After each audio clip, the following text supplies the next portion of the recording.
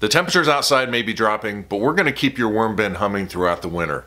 We're going to cover that on today's episode of Coffee and Compost. My name is Steve Churchill, and I own the Urban Worm Company.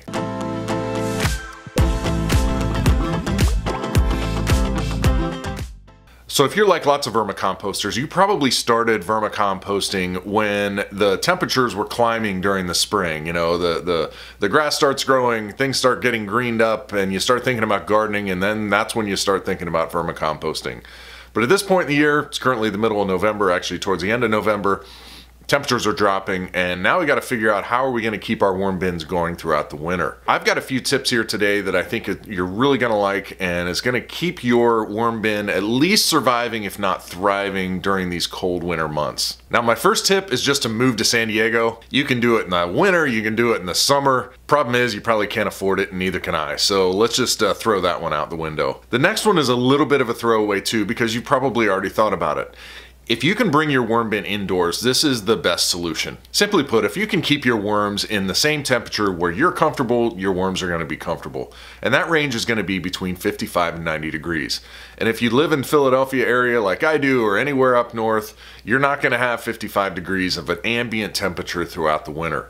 So if you can move those worms indoors, beg your wife, your husband, your roommate, uh, your kids, please let me bring these things inside. It's going to go much better. If you're doing vermicomposting correctly, you shouldn't have the fruit flies and the smell that people often associate with with some worm bins or composting in general. If this is an option, please just go ahead and do that and then you can stop watching this video. Don't stop watching this video though because I'm going to get to some other good tips.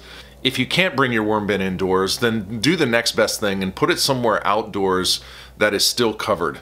And preferably if that outdoor location can be in, say, a garage or someplace where it shares a wall with your home. Your home is going to radiate a certain amount of heat. And uh, if, if your home's like mine, your insulation's not so good, it's probably going to radiate a lot of heat.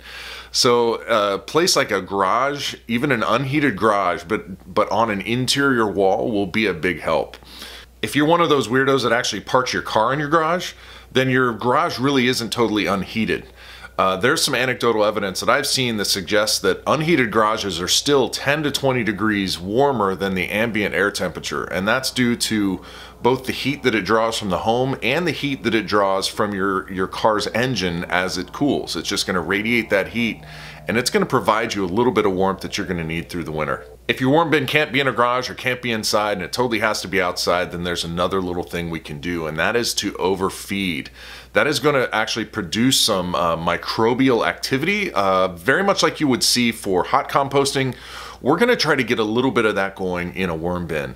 The thing we found when we fed our commercial worm bin is that our temperatures increase for about two to three days. I think you would see this too with a regular worm bin, where once you feed it, you're gonna boost that microbial activity a little bit, you're providing a lot of that food, you may even start getting a little bit of that thermophilic, heat-loving composting going on. Uh, you don't wanna overdo this, obviously, because you don't wanna actually start cooking your worms or creating a mess, but a little bit of overfeeding may do your worms good to keep them warm. The next thing we can try is to use something called thermal mass. And so I just want to harken back to a military analogy which says that uh, quantity has a quality all its own. And so when you have a lot of quantity, uh, what that gives you is thermal mass. And the way we're going to get that quantity is to A, have a large worm bin, and B, try to keep that worm bin as full as possible. An increased volume gives us an increased thermal mass, which is an increased ability for your vermicompost in this case to store and release heat.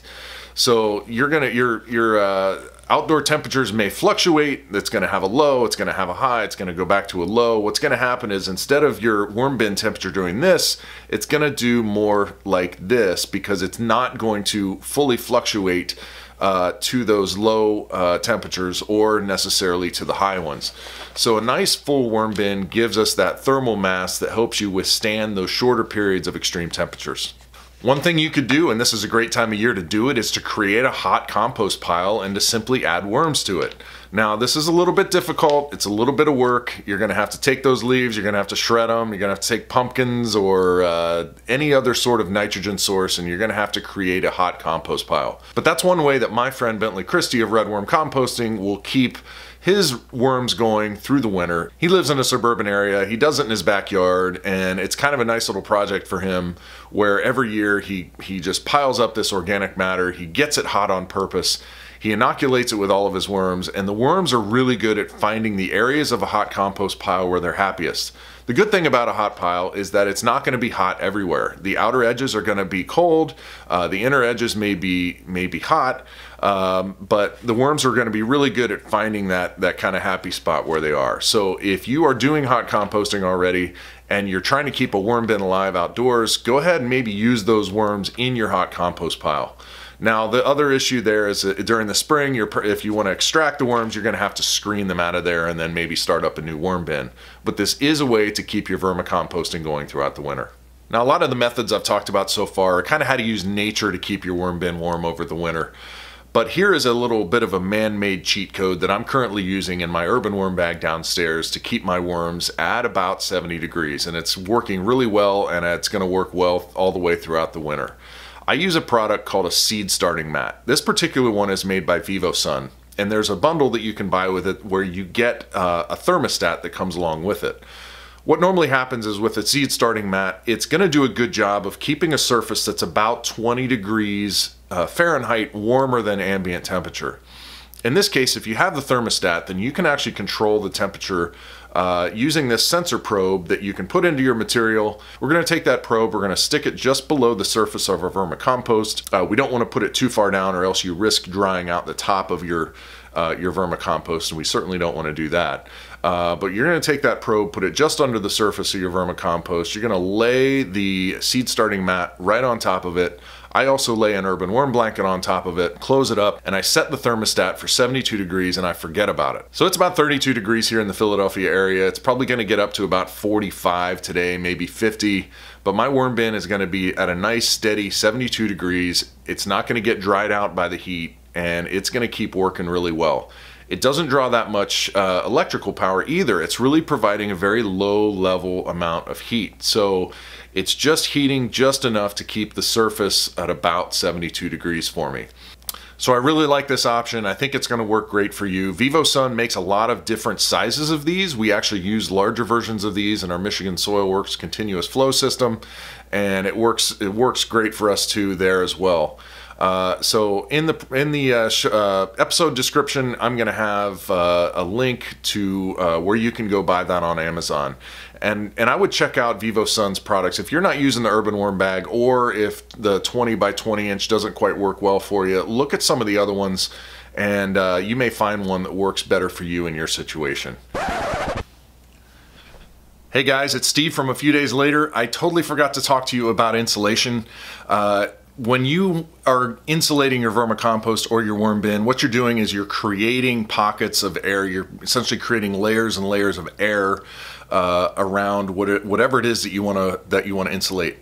Uh, if you are vermicomposting outdoors in an urban worm bag or a worm factory 360 or hungry bin one of the, the freestanding worm bin then you're going to want to go ahead and insulate the bin itself I would wrap something around it, whether it's blankets, maybe insulation. You might even think about creating a frame for it and then insulating that frame. For something like the Urban Worm Bag, it might be great just to actually just wrap things around the frame that, that exists already. If you are doing vermicomposting on the ground, uh, say in a windrow or in something like a Subpod, then what you want to do is insulate the top of it and insulate the sides of it the best that you can. So I hope that this helps. Don't forget to insulate. If anything else doesn't work for you on this, you can always try insulation. It can't hurt, it can only help. See ya.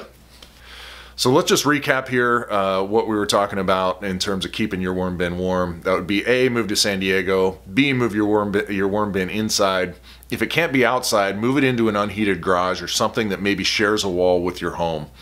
Uh, we want to add microbial activity through adding a lot more food. We want to keep your worm bin nice and full. We maybe want to think about doing hot composting outdoors and then adding worms to the pile to keep your vermicomposting going over the winter or we're just going to go with the nuclear option, do that seed starting mat and keep your keep the surface of your vermicompost nice and warm. And don't forget insulation. I want to let you know that I've got a guide for you that I think is really going to be helpful. It is uh, six uh, rookie mistakes that everyone makes Uh, over the years, I've noticed that most people are making the same few mistakes with their worm bins, and it's causing all the same problems. And so I created a handy little guide. It's fun to read. If you click this link over my left shoulder, you're going to be taken to a, a landing page where you can uh, enter your email. I'm going to give you that uh, guide immediately and we'll go from there. I'd love to hear what you think of it. That's it for today, guys. We'll see you on the next episode of Coffee and Compost.